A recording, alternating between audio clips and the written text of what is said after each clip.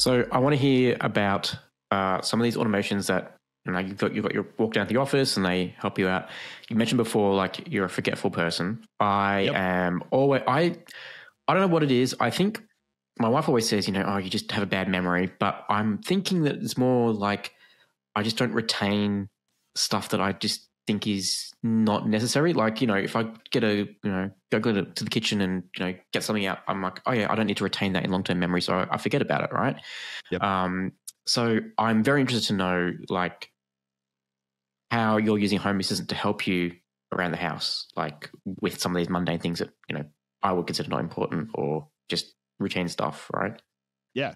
Um, so the first one that I did when I when I started getting set up, and this was on um, um, one of the other YouTube channels, and um, I needed to write them all down, and I forgot.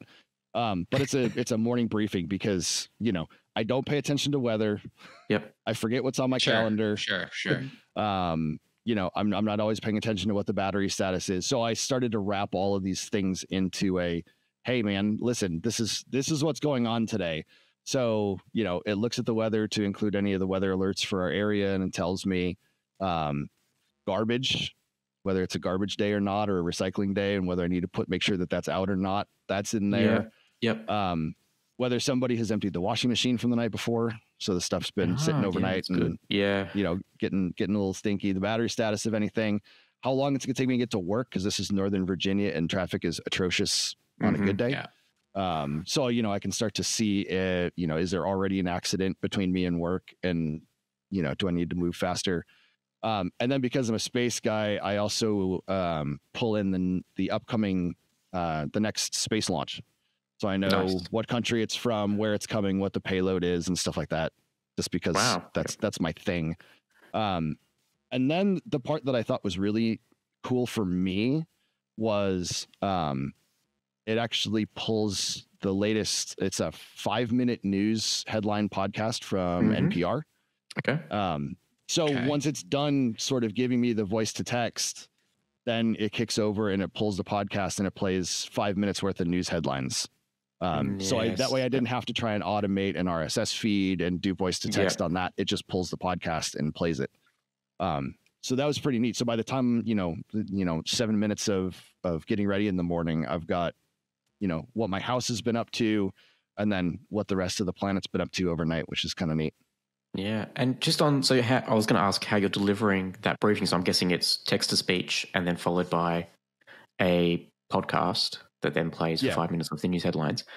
Yeah, How is the briefing triggered? Like, is it automatic? Like, you get out of bed and a motion sensor picks up that, or do you have to actually ask for the briefing to start? Like, how do you? So so right now it's it's I scan an NFC tag with my phone.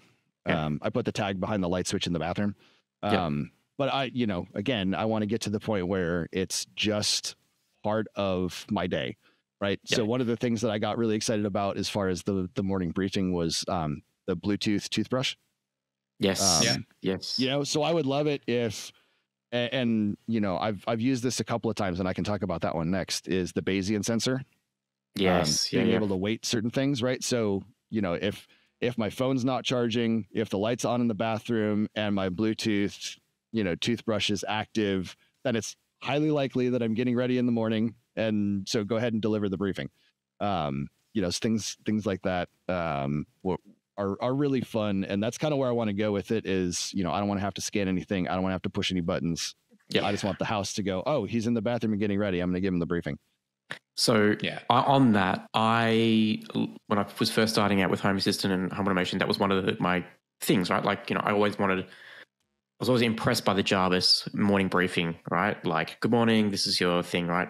And so I would have it uh, whenever someone went into the kitchen um, for the first time in the morning.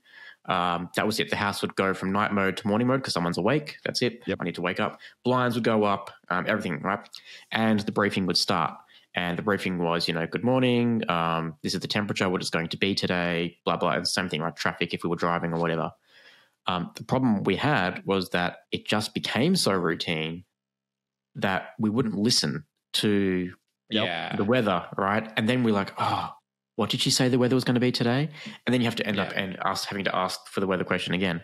Um, and which is why I sort of was uh, interested in what you were triggering it on, right? Because I guess if you're actively saying to the NFC tag, I want to listen to this briefing, you're in the zone and you're going to pay attention, right? Right. Um, but for me, when it was walk in the kitchen first thing and I'm hungry and I'm looking for breakfast, and then it starts playing the briefing and I'm not listening out for it, yeah, you sort of, yeah, it can be, it, it's you got to weigh it up like when to when to play it. Which yeah. Yeah, and I've I've even noticed that happening to me. Even though I'm asking for the briefing, I get I start thinking about something else, and I'm not Yeah. Fully paying droning out, attention. Yeah.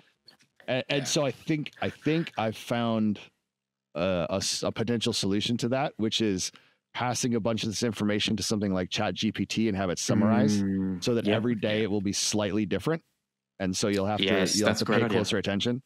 yeah. Um, a- and, You, so just need one it, of you just need it yelling, yelling your name once in a while. Just Brian. oh, oh, yeah. Hello. Yes. Hi.